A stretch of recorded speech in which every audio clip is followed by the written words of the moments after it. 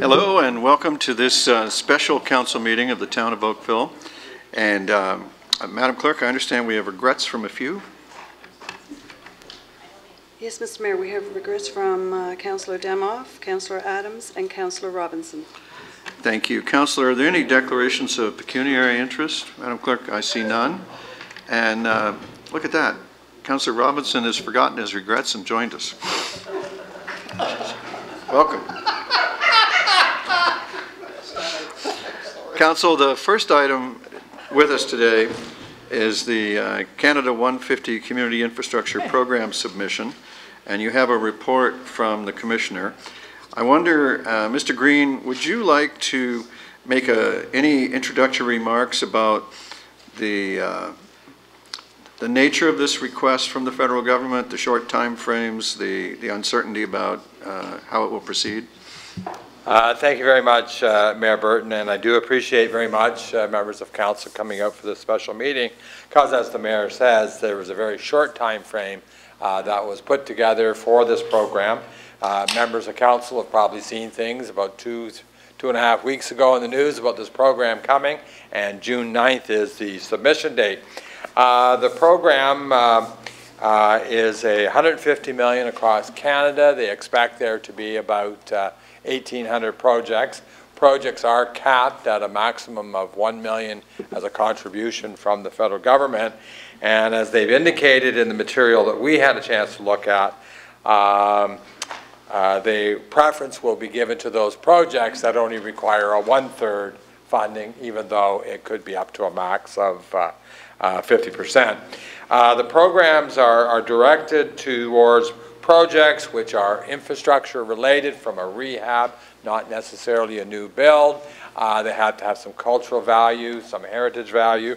And so as staff, we got together, put together a list of uh, five projects at varying values um, that fit the criteria. And uh, we are recommending that this be our list. We've put them in a, in a waterfront, oh, sorry, let's go the first project, in an order where we, we had the greater value at the top end, recognizing uh, that we'd be looking at fitting these projects into our capital forecast should no fundings come uh, available. Uh, we do have a brief presentation, if you'd like it at this point in time, that would speak to each of the projects, and I would leave that with uh, council. Councillor Duddeck. I'd be pleased to move it, to your worship. They've provided us a chart, which has provided us with all the fulsome details. So unless somebody else has any questions, I'd be pleased to move it. Thank you for the motion. Is there a seconder? Councillor Knoll seconds. Any discussion? Everyone happy with the suggestions? Councillor O'Meara.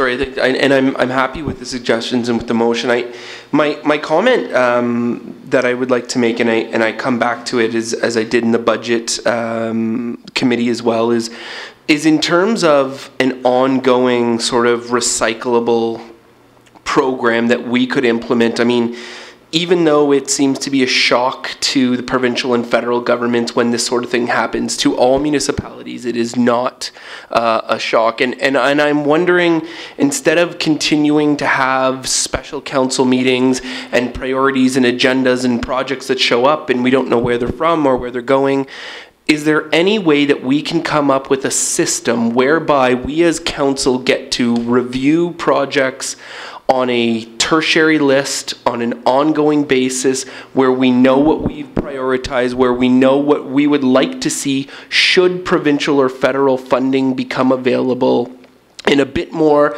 of a systemic way that is predictable to council and to staff. Um, and I'm wondering, um, Mr. Green, perhaps if you can just let me know if there's a way we can do that.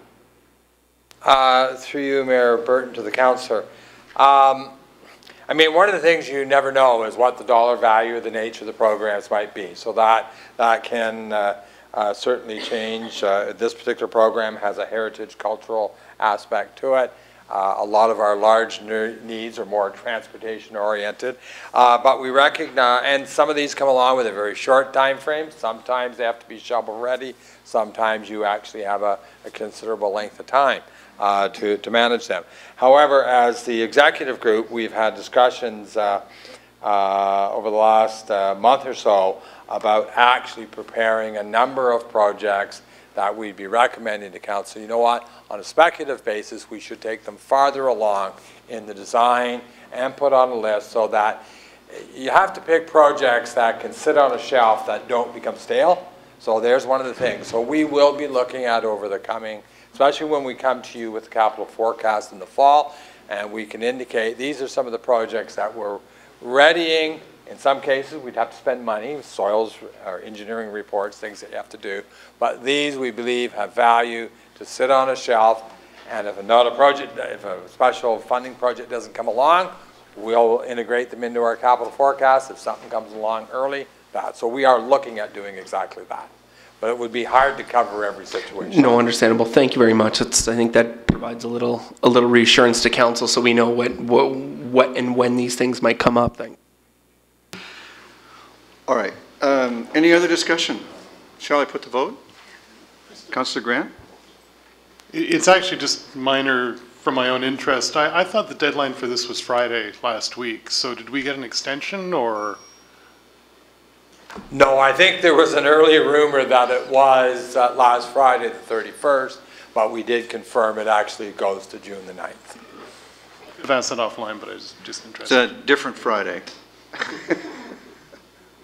At least the Friday part was right, I think. Anyway, uh, good news that we're still in time. Well then, any other questions? All in favor? Opposed to any, and that carries. It Brings us to the second item, the only other item before us today. Um, And uh, um, because I, I I wish to present this, I, I think under our procedure, I should pass the chair to the acting mayor, uh, Councillor Hutchins.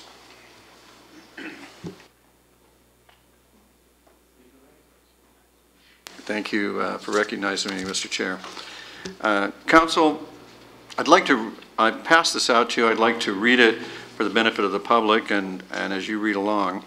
Uh, Whereas the strength of the Canadian economy and the livelihoods of Canadians are directly related to the livability of the municipalities in which Canadians live, work, raise families, and retire.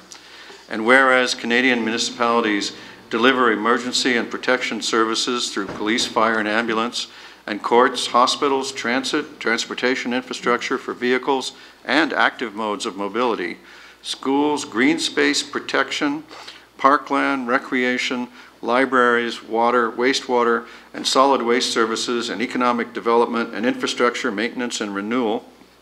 And whereas the property tax is not a sustainable revenue source for municipalities to meet the many and increasing obligations and responsibilities demanded by the public and those which were downloaded from the federal and provincial governments, especially the costs of growth. And whereas Canadian municipalities must serve the needs of an increasingly mobile, globally connected, diverse population with growing complex needs and expectations that require increasing degrees of administrative flexibility and responsiveness. And whereas the province of Ontario provided the City of Toronto broad new powers and significant new legislative freedoms in 2006, promising to roll them out to other municipalities after evaluating their use in the City of Toronto. And whereas the success of the options accorded the City of Toronto may be seen in the province's continued provision of them and the absence of any requests from the City of Toronto for removal of any of the provided freedom, powers, accountability, or administrative options. And whereas the town of Oakville and all other municipalities would benefit from having the same legislative flexibility in addressing the increased demands of Canadians, therefore, be it resolved that this council endorses equal status for Ontario municipalities and recommends to the province of Ontario that all Ontario municipalities have equal access through the Municipal Act and all other applicable legislation to the same powers and administrative options accorded by the province to any other Ontario municipal, to any Ontario municipality. And, and council, if I could speak to this, for several years, we've been engaged as a group in lobbying uh, for uh, a better deal for Halton and a better deal for Oakville. And the time has come in discussions with um, the Premier that the mayors, uh, the, the other mayors and I of the uh, GTAH are having, that this is a timely resolution to bring before uh, the provincial government. And uh, it would assist me in representing you on these long-held goals of ours if not only could we pass this, but pass it unanimously with a roll call vote, with a, a recorded vote. And, uh, and to that end, I, I hope that someone will uh, second it and, and that others of you will support it.